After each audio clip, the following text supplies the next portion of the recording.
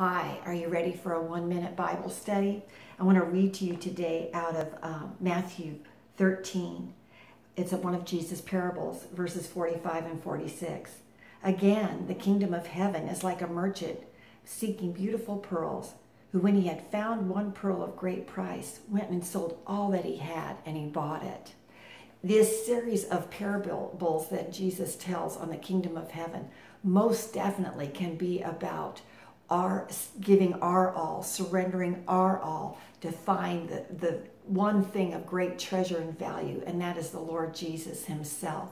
But this particular parable can also be turned on its head, and it is very much the same truth that Jesus considers you the pearl of great price. Jesus, fully God, co equal, co divine, co-existent, co eternal with the Father and the Spirit laid aside his godly prerogatives, became a man, and as it were, sold everything, sacrificed everything that he could purchase you because he loved you so much. Let's find our worth, our significant in joy in knowing how much the Lord loves us and how he sold everything to purchase us back to his embrace. Enjoy that truth today and be lavished in the power of God's word.